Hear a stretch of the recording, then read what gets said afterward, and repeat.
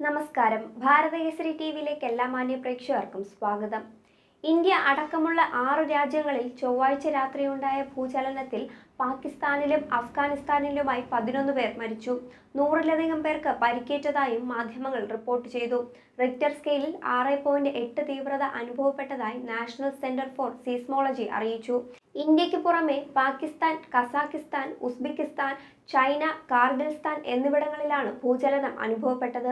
അഫ്ഗാനിസ്ഥാനിലെ ഹിന്ദുക്കുഷ് മേഖലയിലാണ് ഭൂചലനത്തിന്റെ പ്രഭവ കേന്ദ്രം ഇന്നലെ രാത്രി പത്ത് പതിനേഴിനാണ് ഭൂചലനം ഉണ്ടായത് ഇസ്ലാമാബാദ് പെഷവാർ ചർസദ ലാഹോർ റാവൽപിണ്ടി ഗുജ്റൻവാല ഗുജറാത്ത് സിയാൽകോട്ട് കോട്ട്മോമിൻ മദ്രഞ്ച ചഗ്വാൾ കോഹട്ട് ഗിൽജത്ത് ബാൾട്ടിസ്ഥാൻ മേഖലകളിലും ശക്തമായ ഭൂചലനം അനുഭവപ്പെട്ടതായി പ്രാദേശിക മാധ്യമങ്ങൾ റിപ്പോർട്ട് ചെയ്തു.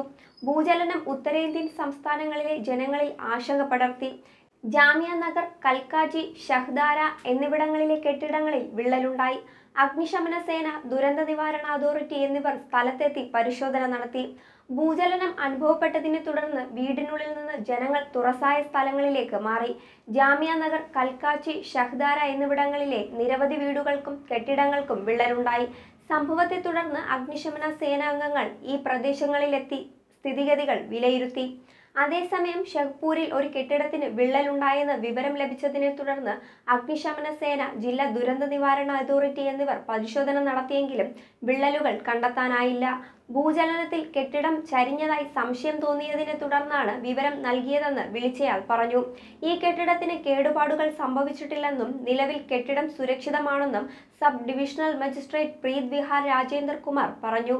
ഷഡ്പൂരിൽ വിള്ളലുണ്ടായെന്ന് വിവരം ലഭിച്ച കെട്ടിടം അടുത്തിടെ നിർമ്മിച്ചതാണ്.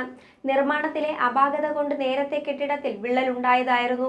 എന്നാൽ ഭൂചലനം കാരണം പ്രത്യേക കേടുപാടുകൾ സംഭവിച്ചിട്ടില്ല. നിലവിൽ സ്ഥിതിഗതികൾ നിയന്ത്രണ വിധേയമാണെന്നും സിവിൽ ഡിഫൻസ് വോളണ്ടിയർ പറഞ്ഞു. രാത്രി ഞാൻ ഉറങ്ങുകയായിരുന്നു. പെട്ടെന്നാണ് ഫാൻ ഇളകുന്നത് ശ്രദ്ധയിൽപ്പെട്ടത്. വേഗത്തിൽ കിടക്കയിൽ നിന്ന് എഴുന്നേറ്റ് അമ്മയെയും നായയെയും കൂട്ടി പുറത്തേക്ക് ഓടിയിറങ്ങി. പുറത്തെത്തിയപ്പോൾ കോളനി നിവാസികൾ മുഴുവൻ പുറത്തുണ്ടായിരുന്നു. വളരെയധികം നേരം ഭൂചലനം അനുഭവപ്പെട്ടെന്നും ഡൽഹിയിലെ ഖാൻ മാർക്കറ്റിന് സമീപമുള്ള താമസക്കാരിയായ നേഹ പറഞ്ഞു. ഏകദേശം ഒന്നര മിനിറ്റ് നേരം ഭൂചലനം അനുഭവപ്പെട്ടു. ശക്തമായ ഭൂചലനം തന്നെയായിരുന്നു അത്. കഴിഞ്ഞ ജനുവരിയിലാണ് ഞങ്ങൾ ഇതിനു മുൻപായി ഭൂചലനം അനുഭവപ്പെട്ടത്.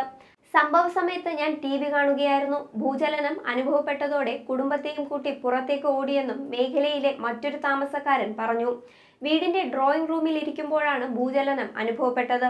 റൂമിലെ ഫാനുകൾ ഇളകാൻ തുടങ്ങിയപ്പോഴാണ് സംഭവം ശ്രദ്ധയിൽപ്പെട്ടതെന്നും ഡൽഹിയിലെ ലജ്പത് നഗർ സ്വദേശിയായ ഒരാൾ പറഞ്ഞു. നോയിഡയിലും ഗസിയാബാദിലും ശക്തമായ ഭൂചലനം തന്നെയാണ് അനുഭവപ്പെട്ടതെന്ന് പ്രദേശവാസികൾ പറഞ്ഞു.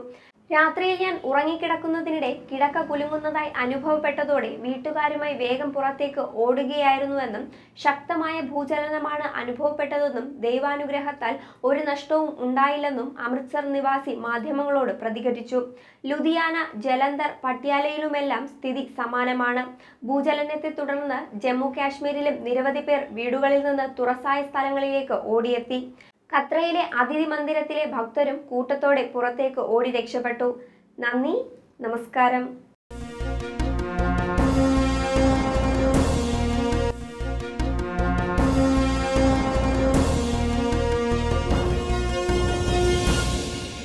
കൂടുതൽ വിനോദകരവും വിജ്ഞാനകരവുമായ വാർത്തകൾ ലഭിക്കുന്നതിനായി ചാനൽ സബ്സ്ക്രൈബ് ചെയ്തതിനു ശേഷം ബെൽ ബട്ടൺ ക്ലിക്ക് ചെയ്യുക.